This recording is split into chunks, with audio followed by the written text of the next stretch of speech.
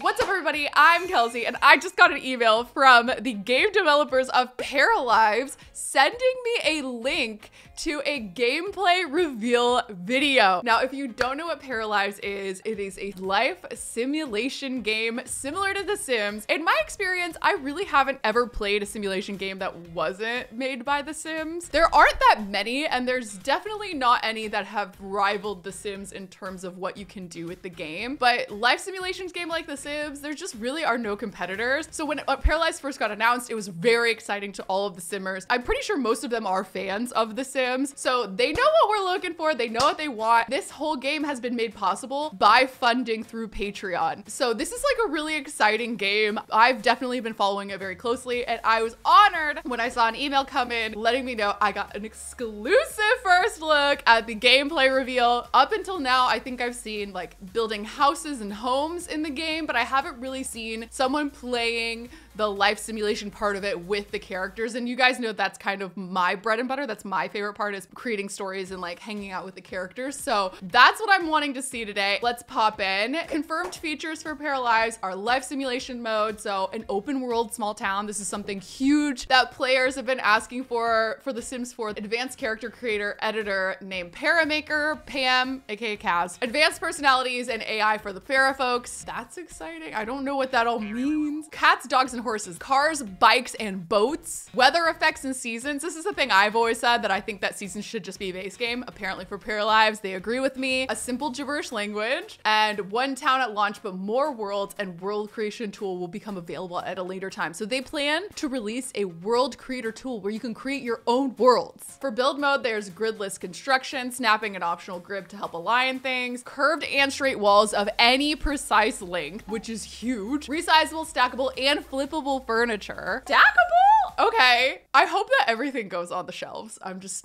dreaming of it. Boat houses you can build. You can build your houseboats and you don't have to like fake it. Color wheel pre-made swatches, and pattern customization. This is a huge one that Simmers have been asking for for The Sims 4 that is just not available for a lot of things. Pre-made houses as well as empty resizable lots, which is crazy, and terrain tools. For Paramaker, there's also gonna be that color wheel for hair, skin, eyes, clothes, and more. Skin tone color wheel. A complete list of detailed body and face sliders. Height slider, which is something I've never seen in The Sims and is always a mod. Equip any outfit regardless of parent folks' gender. Precise tattoo tattoo molten scar placement. So I feel like you can place it on your own. You can click on these and there's like videos of them showing all of these things, but we're not looking at that right now. Okay. We're looking at the Paralives gameplay reveal. Okay, here we go.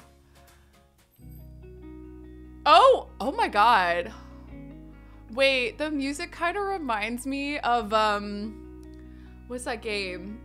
Life is Strange in a good way. Okay, all right. I create a sim, or I create create a pal. The pal builder. We're gonna go with the personality. Ooh, okay. So it's kind of similar to the Sims games in the past where you kind of give certain amounts to their creativity. There's talents. Okay, social perks, lifestyle vegetarian. Okay, she's in her her world. She's obviously just moving in. Ooh, okay, she's hmm. got a big bill that she's got to pay. So she's got to find a job. Cute. I love all the sounds. They're very satisfying. Okay, barista, cook, and general manager. Oh, okay, she's not qualified for certain ones. Okay, I like all of the design of everything here. Oh, you get to upgrade. So it's not like automatically that you get upgrades or like promotions you do it yourself. So if you wanted someone to not get a promotion, then you just wouldn't. That's interesting. Aw, placing the guitar, so good. Oh, on the side, it looks like she has like wants and things to do. I want to make a new friend. I want to play guitar. I want to do something fun. I need, I in needs are over there too. I'm not seeing her needs all laid out in one place. I wonder if they just come up thing to thing. Like it's not showing oh, her mood's going down. Sorry, I'll stop talking so we can all watch it together. I'm just getting excited.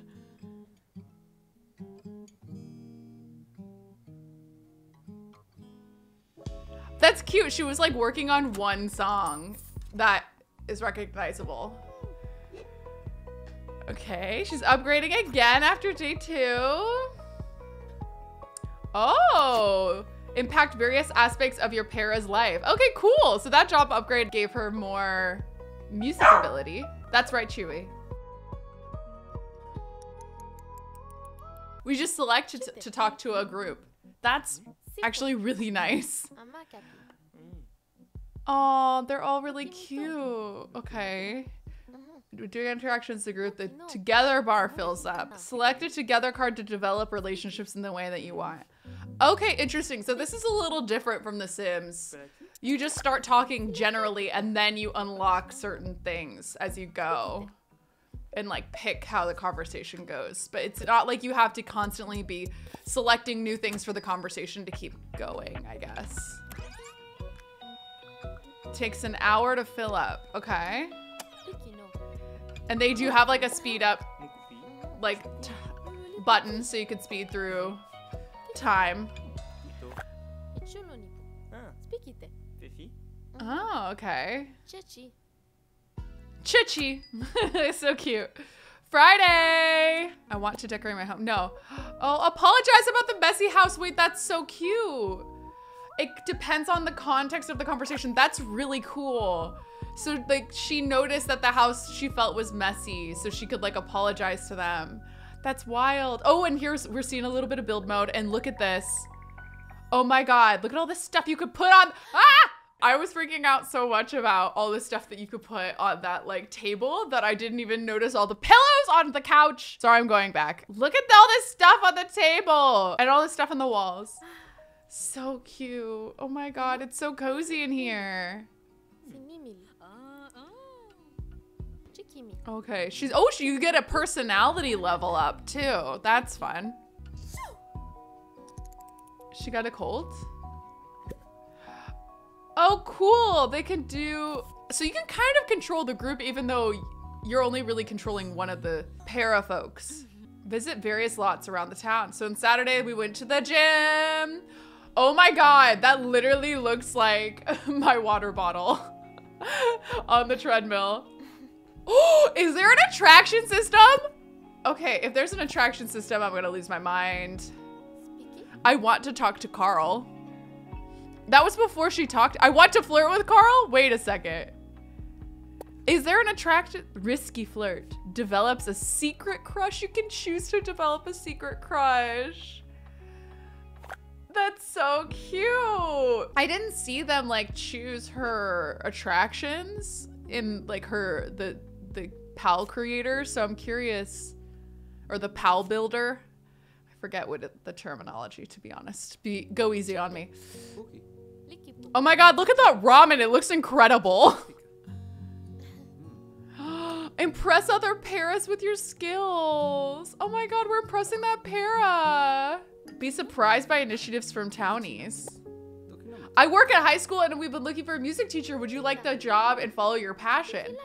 Wait, that's so cool. How does it know? What? She got a new job from him? That's really cool. It came from like a person she knew and in a relationship. Compliment hair flirty. Some cards have better odds based on your relationship status. Oh, okay. They had to be friends first. Attempt first kiss. Oh no. Success. Yeah! is so cute. Oh, oh my god, the romance. Okay, all right. Our first look at Paralives. They're just chatting away over there.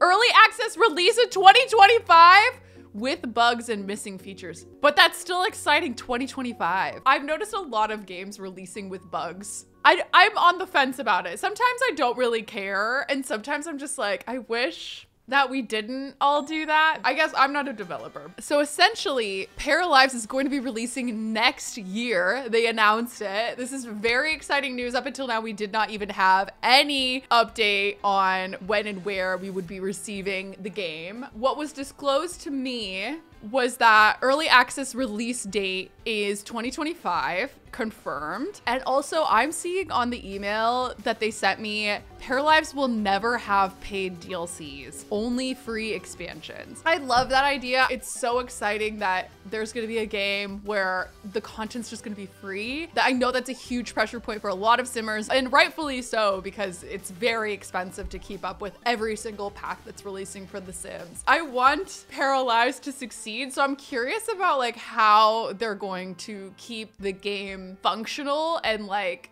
how how to keep getting money from the game when you're only having that one first base price for the game and then you just give free updates. Does that mean there's just gonna be less updates? But part of me wonders if it'll be kind of similar to stardew valley in which like he does put updates but they're infrequent and it kind of just keeps the game relevant for new users to want to purchase the game or purchase on new platforms. The game is only going to be available for steam so pc and mac and it is going to be a single player game and does not require an internet connection. So it's not online, you don't play with with friends. You can add it to your wish list on Steam, but it is not available for pre-order. And there is a beta, which officially got announced, open beta 2025. So that's really exciting. Does game support user created content? Yes. So there will be user created content for Paralives. Players will be able to share their creations, custom content, and mods through Steam Workshop. Script mods are not planned at the moment. Okay, this is exciting. No plans for console versions at the moment. Things that are not planned for the initial release, active jobs in schools. You can have jobs in schools, but you won't be going there with your para. Supernaturals and occults will not be in the game. I don't know if that means never or if it's just like upon release release, so that's pretty interesting. Age rating is for teen, but there's not going to be like super mature themes in it. They're working on optimizing the game to make it run on laptops and lower end computers. Specifications will become available as they get closer to the alpha version of the game. I'm assuming they're still not quite there yet. And you can join the Discord community and have a special channel for suggestions and ideas for the games. That's really cool. I love that it's like very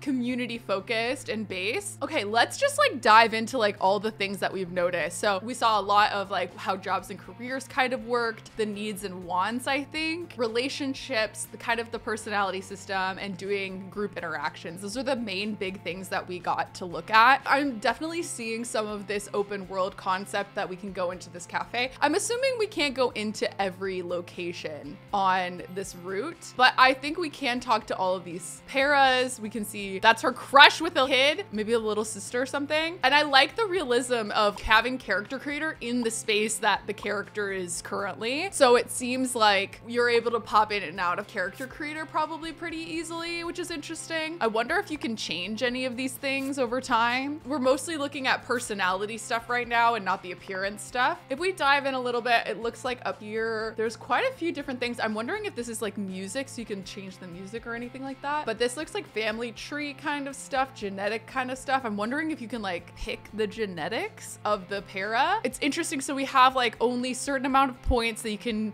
put into four different categories, which is physique, mind, creativity, and charisma. So there's one, two, three, four, five, six, seven points that you can add um, to the groupings here. And then for vibe, we have one, two, three, four, five, six, seven, eight. We have eight different vibes. The vibes include overjoyed, grumpy, gloomy, energetic, serious, anxious, peaceful, and jester. I like that in combination, this is going to give the like landscape of the character. There's not a ton yet, but I do like that you can kind of pick a couple different things. I also noticed throughout that when she did pick, I think, serious for the social perk or something. No, no, she picked serious for her vibe. I noticed a lot of like serious vibe interactions popping up, which was very satisfying to see like where the personality comes in to the game. For social perks, it looks like you can choose like good at being alone, good at making friends, good at taking care of others, good at romantic relationships, good with family, or good at cooperation. Yeah, I feel like that's that's pretty interesting.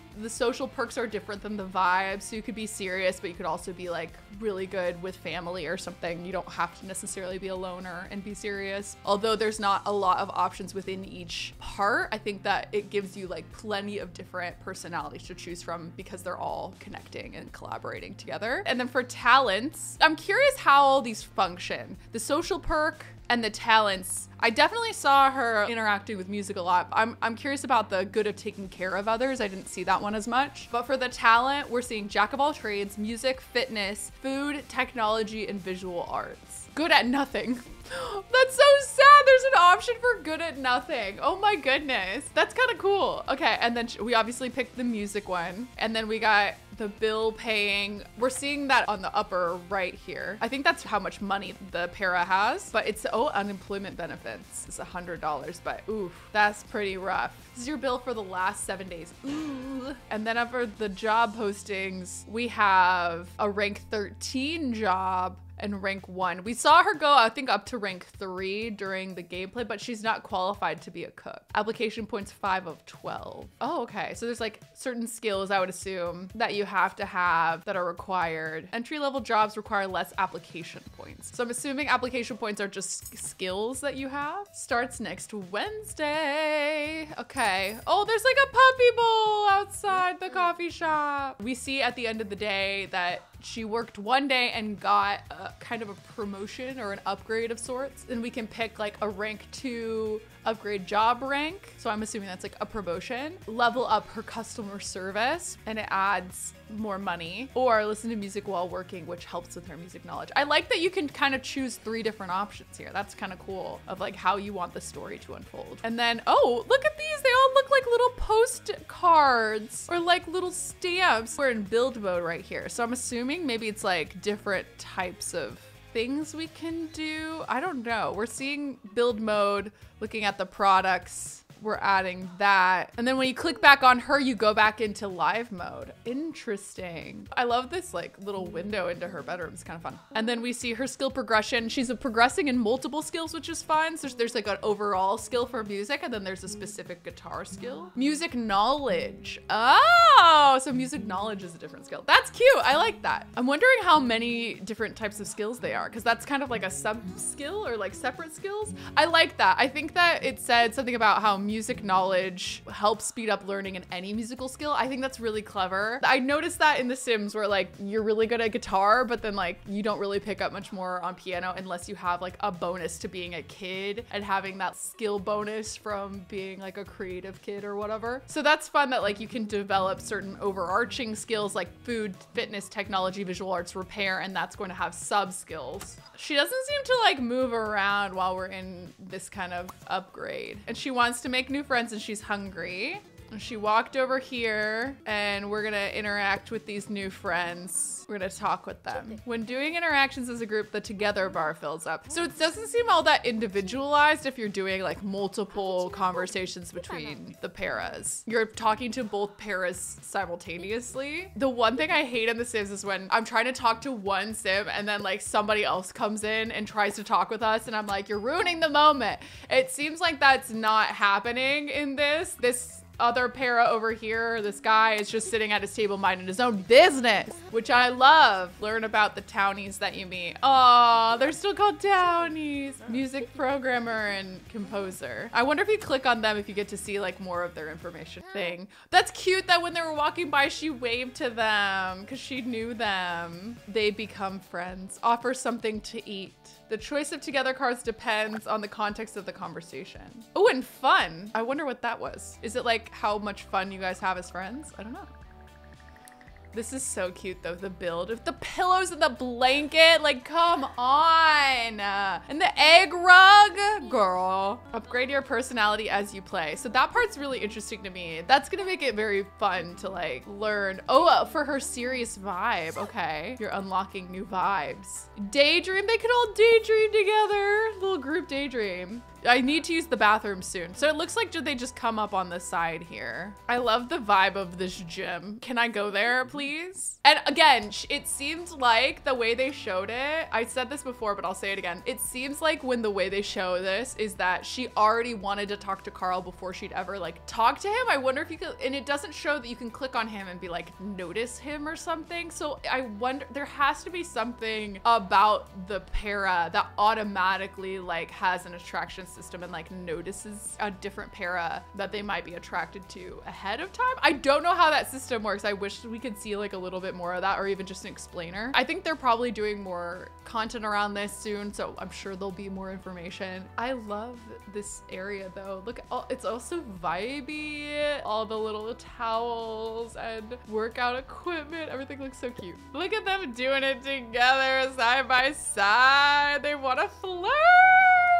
I wonder where the flirty comes in. Is that just in her relationship with him or her as a para herself? I'm very curious. Here we go. We can see all the relationships here in this bar. So this is all the paras that she knows. Oh my gosh, why are you not setting up with Jason though? Gorgeous. Okay. I like Mustache Man. Mustache Man has my whole heart and soul. Okay, so we can see Erica is a level one friend, a level two guitar buddy. I don't know what that means, a level one neighbor. So they live near each other. So they have different labels. And then it looks like there might be also info about Erica that we can also look at. Friend and then level three neighbor with Sam. I wonder what that means. Secret crush former classmate. That's so cute. Oh my God. The story options are endless. And then Sunday, Aneesa invited Carl over. They had some romantic ramen and some pie over here. And we're impressing him with our guitar prowess. It looks like it was we were at guitar level 12. I wonder what the highest skill is of the skill trees here. Be surprised by initiatives from Townie. So that this part is the coolest to me. That they were like just chatting and that he knows she likes music and that he works at a high school and looking for a music teacher. Rando Sims will be like, oh, do you want to join this career? And those pop-ups happen, but like I don't think those Sims actually work in those careers in the game. I'm wondering how this para, like if he truly does work at a high school and will like offer high school jobs that are appropriate to people that he's close to. I think that's so neat. I also love the yes, no emotion is the serious option. I like there's two different ways to say yes. I wonder how they change how the interaction happens. Does he take it differently if she says no with no excitement? One week later, I love all the different, I love this para, man. I see him in almost every shot, sitting over here, maybe working on a tea or a puzzle. I don't know. He's just vibing in the background every time. Hmm. Okay, flirty is level three, fun and friendly. I'm assuming these are relationship statuses with that other para. So they've like built that up a bit. And so then depending on how much you've done with these, different interactions come up. This is interesting. It's not like you have like forever amounts of interactions to choose from. You normally only have three. It's a little pared down, but I do think they're more specific to each moment, which is exciting. Joke about bad coffee. Cute. So romantic. And then there's just them chatting on the street side. Okay, cool. I wonder if there's any last things that I might have missed here. We're checking out. This para just seems to be vibing in the background, not doing a lot. 2025 early access release. Paralives will never have paid DLCs, only free expansions. Oh my gosh. Wow. Support on Patreon. There's so much more to Paralives that they've already revealed the tattoo skin tones, new townies and everything, and like a house building. You guys should just definitely go check out all of that stuff if you haven't had like a big Paralives deep dive. Their YouTube channel is just Paralives. They have a lot of this stuff like an overview. They've got their soundtrack here. They've got, oh, they have autonomy and death. Okay, wait, maybe I need to be doing a deep dive into all the things. Advanced placement tools. It looks like you can kind of like, I did see that before. You can like kind of tilt things this way and that way. So much. I'm pretty excited about Paralives. I definitely will be playing it when it early releases in 2025. What are your guys' thoughts, questions, concerns about Paralives? Would you be playing it? Are you interested in it? Or are you a ride or die Sims fan? I think what interests me most about Paralives is that it's made for simulation game players by simulation game players. So I can tell that they know a lot about the community and what they prioritize and have been looking for in a game. They even give up a lot of updates on their development progress, what they're working on, their roadmaps. You can see like all the different things that they've been adjusting. So it's clear that a lot of love and work has gone into this game. I'm just very excited for the team and I'm very honored that they reached out to me with some exclusive content to share with you guys. I knew you guys would love to see it, so I dropped everything. I hope you enjoyed this. Let me know your guys' thoughts about Paralives and whether or not you want to play it in the comments below. Anything that you're excited about Paralives that I didn't mention, comment that as well. Let's start a conversation. And until next time, I'll see you on the internet very soon. Bye!